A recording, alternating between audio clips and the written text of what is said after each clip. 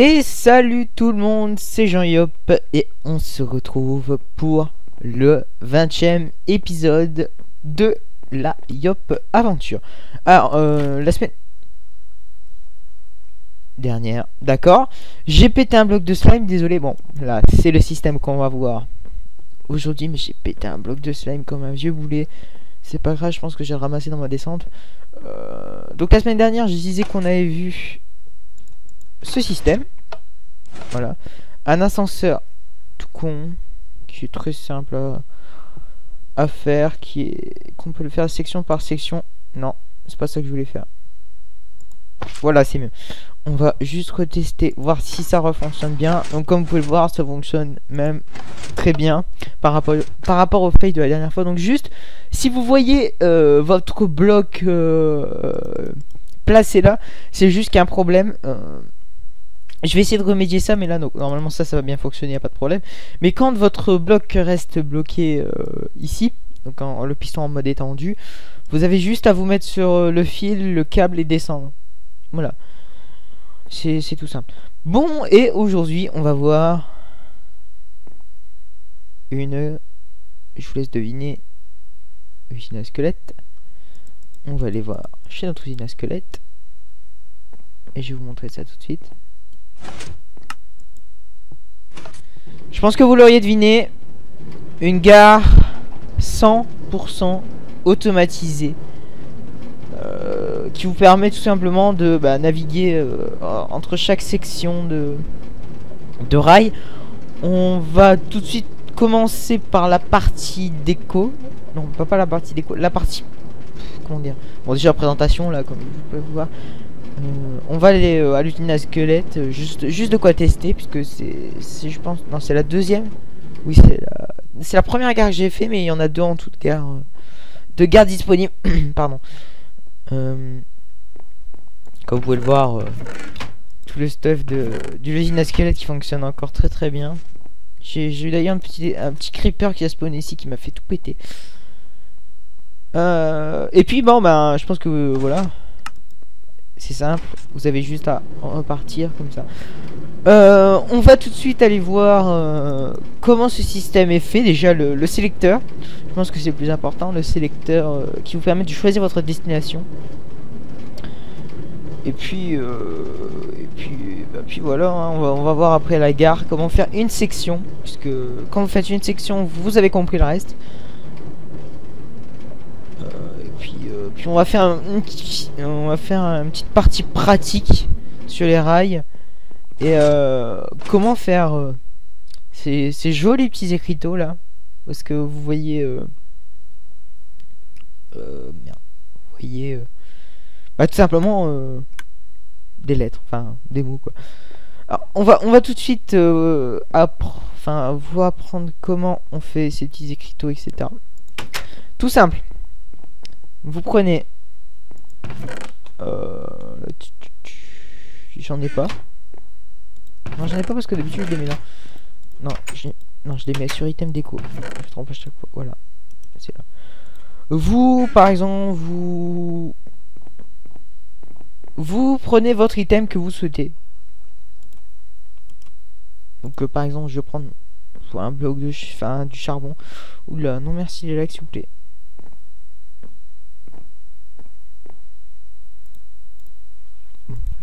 Par exemple, euh, vous mettez ce que vous voulez, donc vous allez à votre enclume, vous mettez ce que vous voulez. Bon, je vais, qu'est-ce que je vais mettre? Allez hop, euh, charbon avec un S, même si, on a qu'un charbon, on s'en fout. Euh, vous mettez votre cadre et vous placez à l'intérieur votre item renommé. Pardon, excusez-moi, j'ai un petit problème. Et voilà. Vous avez votre votre charbon avec écrit en plus c'est 4 c'est bizarre euh, avec votre charbon écrit charbon euh, comme ça alors les items classiques où est-ce que c'est pas renommé du tout vous allez avoir un, item sans nom voilà c'est important à savoir euh, ouais, le charbon, on va, on va le virer. Il va disposer. Donc là, on va aller voir notre gare, comment elle fonctionne. Et puis après, je vais vous faire une petite théorie sur les rails. comment placer des rails et etc. Alors, déjà, le sélecteur. Un sélecteur assez... Ouais. Ça, ça, coûte, ça coûte pas beaucoup en ressources, c'est simple. Contrairement... Et facile à comprendre, contrairement... Bon. D'accord? Il y a des comparateurs. Je pense que certains... Nul en reste, nous on se dit... Oh là là, des comparateurs. Oh. Non. Faut pas se dire ça. Euh, déjà, c'est simple. Quand la flèche va être tournée... Euh, donc dans n'importe quel sens. Euh, comme vous pouvez le voir, vous avez deux épées. Ici 4. Donc vous en, vous rajoutez deux à chaque fois. Etc. etc. jusqu'au bout. Je vous montre un peu tout. C'est bizarre, je lag. C'est extrêmement gênant quelquefois. Oui, comme vous pouvez le voir, ça, ça repart. Bon, comme vous voulez. Donc, le, euh, comparateur euh, bon, je, je vais pas vous expliquer en entier parce que bref, allez voir des tutos là-dessus parce que le comparateur, débrouillez-vous. Euh, injecte dans ce bloc ci qui va faire bouger ce rail. Donc c'est-à-dire c'est-à-dire que comme ce, rail est alimenté, il va tourner dans ce sens. Et donc logiquement, quand on regarde, le carte partira pas par là, mais partira tout droit. J'espère que c'est clair pour vous. Euh, on va tourner la flèche et on va voir ce que ça donne. Oula. Merci pour le lag. Voilà, donc par exemple, on l'a tourné. Et donc là, comme vous pouvez le voir, c'est le 1, 2, troisième qui est tourné. Et donc le carte va partir par là. Le main carte va partir par là. Oui, le, minecart va partir par là. Hein. C'est toujours celui qui n'est pas alimenté. Enfin, le premier qui n'est pas alimenté qui va partir par là. Euh, donc celui-là, j'ai... Tac, tac. Là, il va partir par là. Euh, après, si je tourne encore un peu... c'est compréhensible. Hein. ce que je vais dire. Non, c'est pas ça que je voulais faire. Euh, donc comme vous pouvez voir, là, il va partir par là etc etc voilà donc système simple bon j'ai eu du mal à le faire je vous l'avoue j'ai du mal à le faire parce que c'est vrai qu'utiliser des comparateurs des fois les comparateurs je trouve que c'est bien pour compacter les systèmes bon là c'est totalement optimisé euh, c'est très compact voilà après donc on va voir la station d'embarquement alors toujours aussi compact. Il hein. n'y a, rien de compliqué là-dessus. Du coup, j'ai tout rebouché. Alors, vous avez... Hop, euh, je remonte. Une plaque de pression. Donc en dessous, on a un courant de redstone qui passe par là. Tchac. Et qui va alimenter euh, ce, cette torche. Cette torche va s'éteindre. Ce piston va se rétracter et euh, va permettre euh, qu'au bloc de se placer juste ici et donc non finalement je suis resté là. Ce, ce, ce, ce, je sais plus comment ça s'appelle. Merde. Ce quoi déjà? Ouh je perds mes mots désolé. C'est un répéteur. Un répéteur à 4 ticks c'est important. Euh, vous allez avoir juste au-dessus, il me semble qu'il y a des torches, je me souviens plus trop de mon système puisque ça fait un bout de temps que je l'ai fait. Voilà, j'ai tout cassé. Non, ça va. Vous avez une torche ici, donc comme vous pouvez le voir, vous avez euh, le, répéteur à 4 ticks, torche ici, torche ici, qui va activer euh, ce distributeur comportant des wagons. Très important à, mettre. Donc, quand, quand je vais appuyer sur la plaque de pression, je récapitule, hein, bien sûr. Euh, un minecart se place. Le bloc se déplace. Et va faire apparaître un minecart. Ce minecart, euh, en rentrant dedans, on va plus être appuyé sur la plaque de pression. On va être boosté, enfin envoyé, euh, euh, en avant grâce au piston qui, qui, se rétracte avec le bloc. Voilà, on va réparer ça. Voilà, donc c'est tout con. Et puis, euh, vous avez qu'à faire ça euh, dans chaque station, en fait. de chargement que vous voulez avoir. Après, seconde chose, c'est la station de débarquement. Merde, fait? Ah non, c'est juste les pistons. Ok. Rien de grave. Euh, donc pour rappel, pour ceux qui ne savent pas, il faut mettre des rails... Euh, des rails... Euh, comment ça s'appelle Des rails déclencheurs pour que vous soyez éjecté du rail. C'est assez important. Après, tout simplement, votre carte va aller sur le, sur le cactus, sur un cactus. Donc vous placez un cactus. Et vous mettez un, un hooper juste en dessous. Et comme vous pouvez le voir, le minecart va se détruire et va euh, être aspiré par le hooper. C'est tout simple. C'est tout, bête. Merde. Voilà. Et cette rangée de hooper, où va-t-il? Eh ben forcément, il va... Oh, oh il va... Euh... Il va dans ce... Euh, dans ce dans ce distributeur qui va permettre de faire un mouvement continu, etc. Vous avez aucune perte avec ça. Bon, après, je pense que vous, visualisez euh, comment il faut faire. Vous avez juste à cliquer ici. Enfin, je fais une petite parenthèse d'ailleurs à ça. Vous, avez juste à cliquer ici pour, euh, pour déplacer le, le la flèche et ainsi sélectionner votre destination. Vous n'êtes pas obligé de choisir une flèche d'ailleurs. Vous avez euh, libre choix avec vos items. Alors. Euh, Qu'est-ce que j'allais dire? Voilà. On va faire tout de suite une théorie sur les rails. Euh, j'ai un peu checké le wiki au niveau des rails. Et c'est assez spécial. À vrai dire. On va tout de suite s'occuper de ça. Bon. Déjà, par défaut, je pense que vous l'avez compris. Voilà. Attendre que l'axe se calme. Voilà par défaut, je pense que vous avez compris, quand vous placez une ligne droite et que vous mettez un rail, votre rail ne va pas être euh, relié avec euh, celui d'à côté, forcément. Par contre, quand vous cassez le rail et que vous le remettez, il va être, va, en fait, le, rail va, checker en quelque sorte la direction de ce rail pour être rattaché directement à ce rail. C'est assez compliqué, mais c'est en fonction de la position de votre rail. Par exemple, cette intersection là va être attachée à là. Euh, voilà. Euh, après, je sais qu'il y a aussi d'autres choses au niveau des. Pardon, excusez-moi pour les lags, mais. Voilà quoi. Je peux rien faire d'autre. Euh, après, on a ce qu'on appelle les intersections par redstone.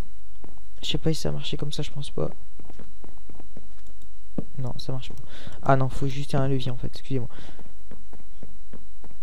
C'est pas là, c'est là. Petit levier. Merci. Voilà. Donc, euh, grâce à ce levier, par exemple, donc juste une impulsion de redstone, vous allez juste pouvoir changer la direction de votre rail. Mais attention, c'est aussi en fonction de la direction, puisque c'est assez compliqué aussi. Euh, dans ce cas-là, par exemple, si je fais ça là et là, voilà, comme vous pouvez le voir, c'est assez... Enfin, c'est pas random, c'est... C'est en fonction de l'est ou de l'ouest, je sais plus exactement si c'est l'est qui est prioritaire ou si c'est l'ouest ou si, c'est le nord ou si c'est le sud. Voilà, c'est assez compliqué au niveau de ça. Après, donc déjà, où le minecart va aller dans, dans, dans, dans certains cas,